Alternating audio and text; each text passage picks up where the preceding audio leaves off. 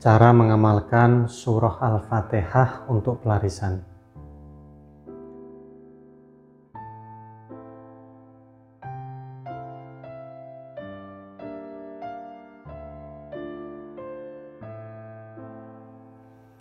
Assalamualaikum warahmatullahi wabarakatuh. Saudaraku yang dirahmati Allah Subhanahu wa taala, Tuhan yang Maha Kuasa. Semoga kita semua senantiasa diberikan kesehatan, diberikan kelancaran, dan selalu mendapatkan keberkahan di setiap langkah kita. Amin Allahumma amin. Ya, surat Al-Fatihah itu adalah salah satu surah dari Al-Quran yang paling inti. Bahkan tidak sedikit yang menyebutnya itu sebagai inti dari Al-Quran. Nah, itu sudah terkandung semua di surah Al-Fatihah. Nah, surah Al-Fatihah itu mengandung petunjuk, terus kemudian janji dan ancaman serta pertolongan belas kasih dari Allah Subhanahu wa taala. Nah, dalam kesempatan kali ini saya akan share ya cara memanfaatkan surah Al-Fatihah untuk meminta pertolongan kepada Tuhan ya supaya dagangan Anda itu dilariskan. Nah, langsung saja agar tidak banyak makan waktu ya. Nah, berikut ini adalah cara mengamalkan ya surah Al-Fatihah untuk pelarisan dagangan Anda. Nah, untuk langkah yang pertama itu adalah siapkan air seember ya. Nah, sekiranya itu cukup untuk menyiram ya, sekeliling tempat usaha Anda. Nah, jika tempat usaha Anda itu kecil, ya maka bisa disesuaikan lah untuk volume atau banyaknya air tersebut. Lalu Anda carilah tempat yang nyaman ya untuk Anda mengamalkan amalan uh, pelarisan surah Al-Fatihah ini. Nah, silahkan Anda mulailah ya dengan membaca surah Al-Fatihah sebanyak 2500 kali tanpa putus yang di setiap ayat kelima yaitu iya karena abudu wa iya karena stain ya itu anda baca tujuh kali. Nah jika dalam mengamalkannya itu ada yang putus ya karena aktivitas lain ya eh, atau karena anda itu ketiduran ya maka harus mulai dari awal lagi.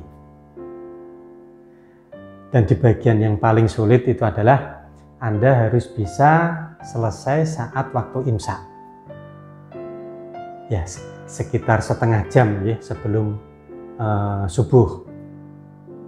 Nah, jadi Anda itu harus bisa mengira-ngira ya, kapan mulainya agar Anda itu selesai pas di waktu imsak tersebut. Nah, jika sudah selesai, maka segeralah Anda tiupkan ke ember yang berisi air tersebut. Nah, kemudian Anda siramkan di keliling tempat usaha Anda ya.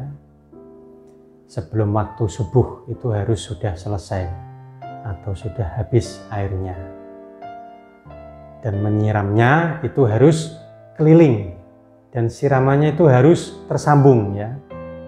Dari titik awal Anda harus mulai menyiram sampai titik terakhir airnya itu habis. Paham ya?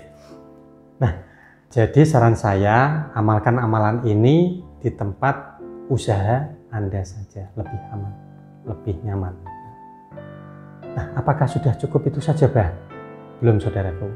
Masih ada langkah yang kedua, yaitu setiap Anda itu memulai aktivitas, ya, aktivitas berjualan, atau saat Anda itu membuka toko Anda, niatkan untuk beribadah dan meminta atau berdoa kepada Allah Subhanahu wa taala, Tuhan yang Maha Kuasa. Nah, supaya dagangan Anda itu dilariskan. Nah, setelah itu Anda baca surah Al-Fatihah tujuh kali, yang di setiap ayat kelima Anda baca tujuh kali.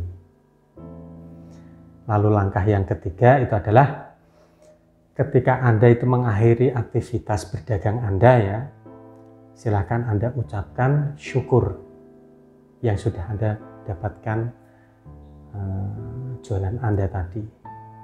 Lalu Anda baca lagi surah Al-Fatihah tujuh kali, namun di setiap ayat kelima Anda baca tujuh kali juga. dan selesai. Nah, untuk langkah yang pertama Anda lakukan sekuat Anda ya, frekuensinya. Ya misalkan Anda itu kuat seminggu sekali ya, silahkan ya, silahkan lakukan seminggu sekali. Namun jika tidak mampu sebulan sekali ya monggo. Ya, namun jika tidak mampu lagi ya setahun sekali bisa Anda lakukan. Nah, jika dirasa Anda itu repot, ya maka hentikan saja berarti Anda itu tidak mampu untuk melakukan. Ya, jika Anda itu tidak mampu ya jangan dipaksakan ya. Karena segala sesuatu yang dipaksakan nanti hasilnya itu akan kurang baik. Walaupun itu dalam hal kebaikan. Nah, sedangkan untuk hal uh, langkah yang kedua dan yang ketiga Anda bisa lakukan setiap hari atau setiap Anda itu membuka toko usaha Anda. Ya kurang lebihnya seperti itu ya. Untuk penjelasan saya tentang bagaimana cara mengamalkan surah Al-Fatihah untuk pelarisan dagang Anda. Nah semoga bermanfaat untuk Anda semua saudaraku.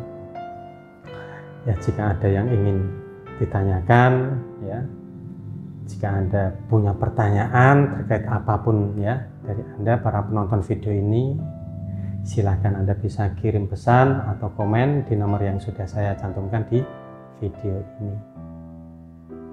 Lalu jangan lupa pula untuk Anda subscribe channel ini ya, karena masih banyak video yang menarik yang sayang untuk Anda lewatkan. Saya Bahram Doni, pamit undur diri. Wallahul Wassalamualaikum warahmatullahi wabarakatuh. Alhamdulillahirabbil alamin.